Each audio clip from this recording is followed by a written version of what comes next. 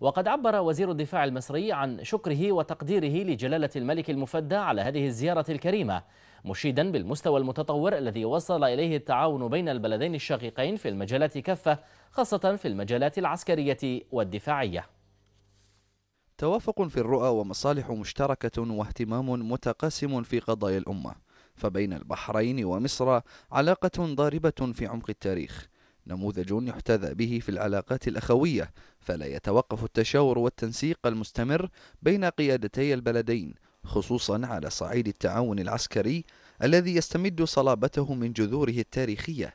فقد كانت لجلالة العاهل المفدى حفظه الله زيارات متوالية تختص بالتعاون العسكري منذ أن كان وليا للعهد. وتوالت على مدى السنوات المنصرمة إيمانا بأهمية تبادل وجهات النظر بشكل مستمر بخصوص مختلف القضايا الثنائية والعربية والدولية. وفي السنوات الأخيرة حقق التعاون العسكري البحريني المصري مزيدا من التكاتف والتآزر. من خلال تمارين مشتركة طالت مجالات العمليات القتالية كافة برا وبحرا وجوا. ومن أهم التمارين المشتركة بين البلدين في السنوات الأخيرة في مايو عام 2014 جرت فعاليات التدريب الجوي المشترك الربط الأساسي. نفذته عناصر من سلاح الجو الملكي البحريني والقوات الجوية المصرية إلى جانب تسع دول عربية وأجنبية. وفي الشهر والعام نفسه جرى تمرين خالد بن وليد المشترك ونفذته القوة الخاصة الملكية ومجموعة من قوة الصاعقة من القوات المسلحة المصرية. أما في أبريل من العام المنصرم فقد جرت فعاليات التدريب البحري الجوي المشترك حمد واحد بمشاركة عناصر القوات البحرية والجوية لكل من مصر والبحرين. رؤية موحدة بين البلدين إزاء جميع القضايا الراهنة في المنطقة. تتطلب المزيد من التعاون والتنسيق العسكري والدفاعي. وهذا ما عكفت عليه اجتماعات لجنة التعاون العسكري البحرينية المصرية المشتركة لعدة سنوات والتي من شأنها أن تخدم الأهداف الأخوية المشتركة بين البلدين الشقيقين.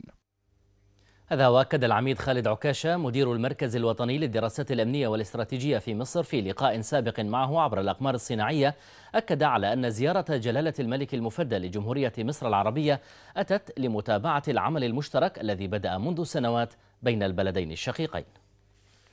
في زيارة اليوم الأخير التي قام بها جلالة الملك إلى وزارة الدفاع المصرية ولقائه مع القيادات العسكرية وأيضا الحديث المفصل والتفصيلي عن الاهتمام بالجاهزية المشتركة لكلا الدولتين.